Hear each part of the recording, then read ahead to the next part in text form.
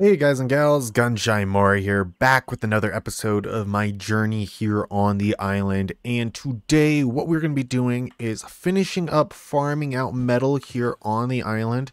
Now, I did go out and I did tame up an Ankylosaurus. Um, I did record it as a video, but sadly, I didn't feel like I put enough effort into that video. So yeah, this is going to be our third episode here. But yeah, I got an Anky. We're going to be using that here to assist us in gathering these metal nodes. Um, I do got two forges placed down on my raft. So once we get all that metal here and loaded up into those forges, we should be good to leave Herbivore Island. And I think that's what we're going to be doing today. Now, for those of you that are wondering how I'm harvesting these metal nodes with an Anky without a saddle, all I'm doing is putting his behave behavior, uh, allowing wandering, then I am whistling him, allowing him to follow up to me until we get like on the metal node, and then you just unwhistle him, and he will immediately start hitting the closest metal node. Um, but do keep in mind you have to have him within distance to hit, or he's actually just going to start walking away, or he'll walk close enough to the metal node to break it. But as you guys can see there, that is our first metal node, and we got a good chunk there. I am going to increase his melee just because that does help with how much you get out of the metal nodes.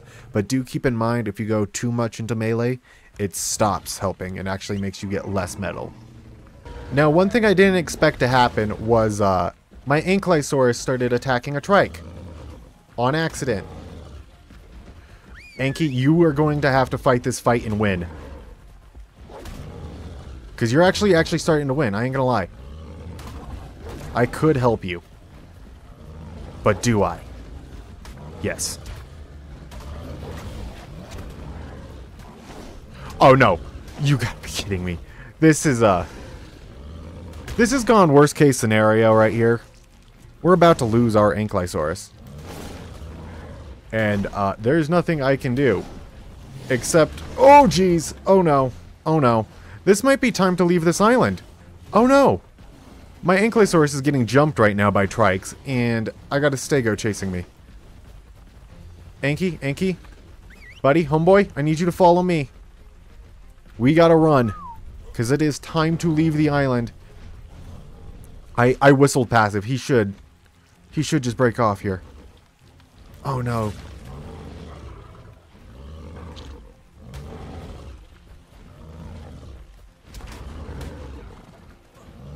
Come on, dude. Just attack him at this point. Get a swing out, Anky. Come on, you can at least get a swing out on him. Uh, and I keep on shooting my tranq darts. Oh, this went bad quick. Did we lose the Anky yet? No. Oh, no, we haven't. Oh, oh. Alright, dude. I need you to chase after me. We are leaving. We got to get away from that Stego real quick. Oh, he's attacking my Anky. That's the problem.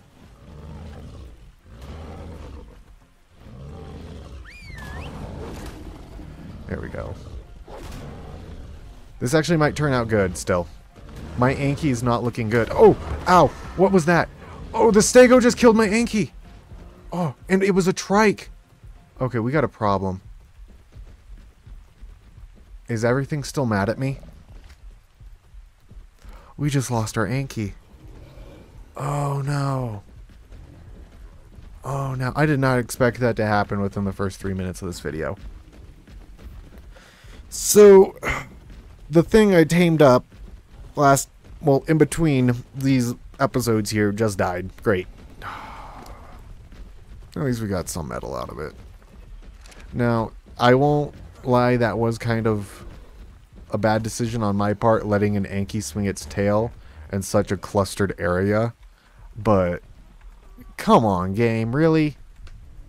Now, I'm not going to worry too much about the metal. I'm just irritated that we got the we lost that Anky. I did already get one, you know, round of harvesting the metal nodes on this island done with it. So we did get a somewhat nice chunk of metal. It's just, yeah, I was hoping to get an even nicer chunk of metal before we left. But I think, yeah, we're just gonna, we're gonna leave Herbivore Island because I do not plan on building here anymore. I think what I'm gonna do is kind of move over to the Red Obelisk area. Find a nice spot over by Red Ob. Okay, we're on the raft. Give you half metal. Give you the other half of the metal. Now, they still have some left over from the last run, but yeah, this is the nice chunk I got last time. Sadly, we are going to miss out on, again, getting another nice chunk. Now, I could technically go tame up another Anky, in which, do I want to do that, or do I just want to head out? Because that was my main goal for today, was to actually head out and not worry about taming up another Anky. Because that's why I felt like the last episode was boring, because it was literally just the entire episode is me taming up one Anky, running around getting resources while I was waiting. So, um, I think this is gonna this is gonna probably be our end of the stay here at you know Herbivore Island. I think we're gonna head back over towards Red Obelisk, back over towards where we spawned. Now here's the scariest part about taking the raft away from Herbivore Island. I have to cross water that's deep enough for a Leedsichthys to come up and attack me. In which, yeah, that's never good. Cause Hello, motherfucker. They oh oh no why why why why why did I even have to mention it? Lead lead go away go away go go shoo shoo shoo. See what I said? I, this day is starting to look like we are going to have the worst luck possible. Okay, so we've gotten about halfway there without running into any more trouble. Um, we might though. I keep on seeing something pop out here. I think that's one of the. Yeah, it's just one of they're they're passive. They shouldn't attack us. It's just one of the sea dragons. Um, but once we get down here to the red obelisk, I don't think I mentioned this. The base that we're gonna be building down here is just gonna be temporary because I do want to do one on mainland.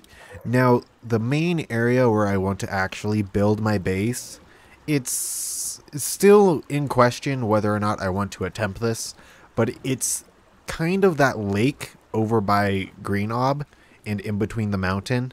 It's the large lake, not the small one. If you guys know what I'm talking about there, you'll see it. I'll have a screenshot up on screen here, but yeah, that's where I'm thinking about building my main base. So the one that we're going to build today down here by Red Ob, this is just going to be a, you know, temporary base. It's just somewhere mainland where I can, you know, start getting progress, getting the resource harvesting creatures, and, you know, just a safe place to respawn.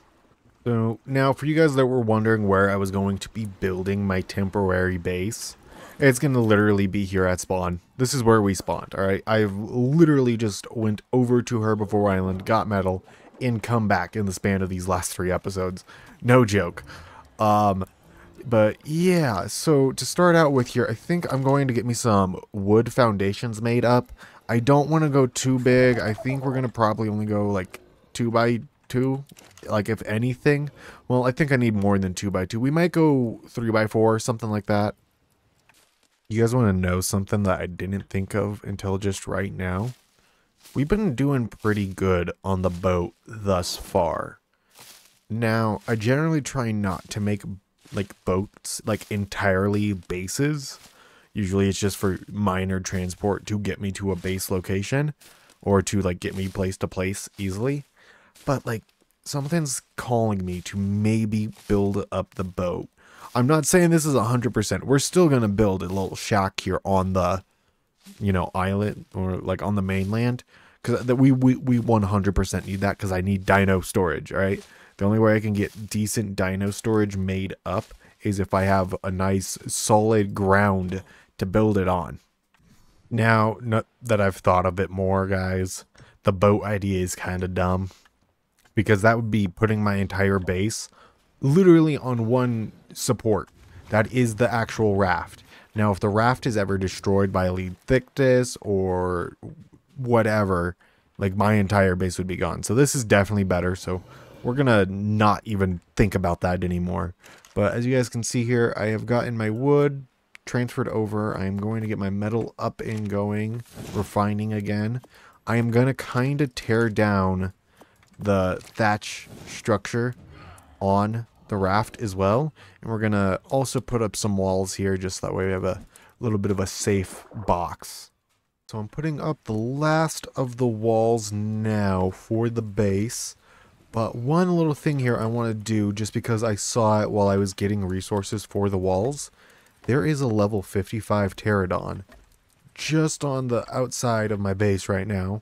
And I got me some bolas here, and I just need to grab my tranq, arrows, and bow out of here. Luckily, we still have some arrows after that fiasco at the beginning of the episode. Otherwise, this would not be possible right now. I'm really hoping that the amount of arrows I have works, but that pterodon is just somewhere over here. Unless he took off. He might have taken off. He was just right over here. Oh, is that him there? That is him. This green and purple. I really like the colors too. This is the one I was looking at. It's more of a green and blue. But here we go. It's level 55 female pterodon. Now, I'm feeling like our luck has started to turn around from the beginning of this episode, where we lost ourselves in Anki and then almost got attacked by a lead Leedsichthys. I mean, we got a base built up in a nice, decent spot, and we just got a level 55 Pterodon knocked out. I'm saying things have started to turn around.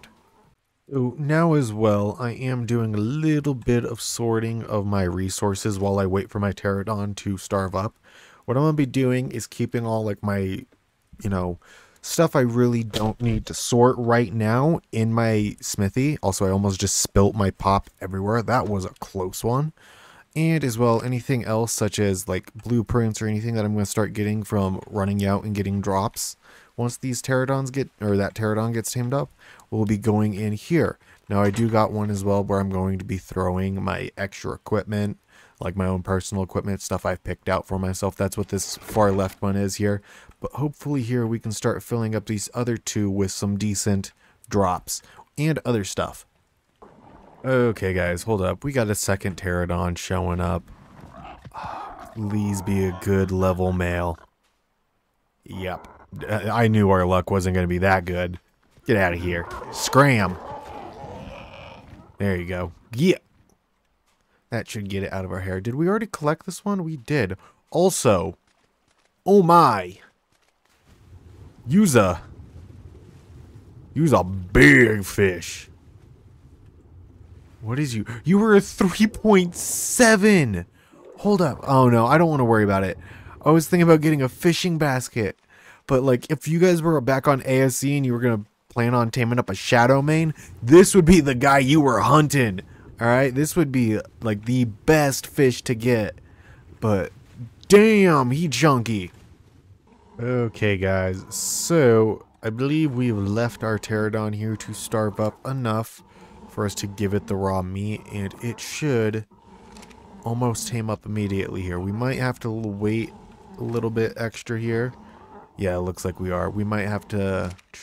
Oh, it only got halfway out of. Yeah, we're going to have to go actually give it some narcotics. I wasn't thinking we were going to have to do that. Um, we might not have had to if I waited a little longer there, though. Um, let me get them for it. Now, I'm not going overboard on the amount of narcotics it needs at the moment because it should be done here soon. I'm just going to mash in these five narcotics. That should get it up to at least 300 again if I've done my math correctly in my head. No joke, my math could not have been more spot on. That got up to 326 for Torpor, then started dropping back down. So that was epic. So this gal should only take me about another two minutes. I got my raft taken down and I got all my dinos up. Oh, and also another thing here that I did while we were waiting on the Pterodon was I got a Lystro. The reason I did this is just so that way once the Pterodon's tamed up, I can get it next to the Lystro pet the Lystro and it will give them a little XP buff, as you can see there, which is always good to have. Now, our Pterodon is almost done here. We're waiting on one last feed, so this should be done within the last minute. Now, I would like to get a saddle for it. Unfortunately, I don't know if I have the stuff for a Pterodon saddle. And also I keep on clicking on cosmetics on accident. Can I even craft a Pterodon saddle yet? No, I cannot. Okay. Um, I have to be level 38. Now that's the actual same level that I had to be to get the Ankylosaurus saddle. Isn't it? No, Anky's level 36. Oh, I have to get to level 38. Okay. We're only four off. That's not bad, but sadly does not look like we're going to be taking flight this episode. But we will at least have a flyer ready to go once we do get the, you know, access to the blueprint. Or maybe even, uh, no, because we won't be able to go out and actually efficiently search for drops like I wanted to now. But yeah. Alrighty guys, so we got the Pterodon finished up now. I've got it moved over to the base, or at least where I'm going to have the base finished. But I think we are going to be done for today. We did get a decent chunk of progress done today. We got all the way back over from Herbivore Island to where we spawned and we got a nice little base set up. And as you guys may notice I have started setting up defenses. Now I really don't think I'm gonna need them here. These are more just in case say like Dilophosauruses and uh, maybe even a Spino if it wanders over. Like don't immediately get into all my creatures and kill them even though yeah but I think, yeah, this is going to be where we call it. So if you guys have found yourself at any point today enjoying this episode, please do consider leaving a like and subscribing. Also, remember to share this video with your friends and family. That does really help me out in the algorithm. And as well, ring that notification bell so that way you guys can be notified upon me posting new videos. And yeah, this has been GunShyMoray, guys and gals, signing out.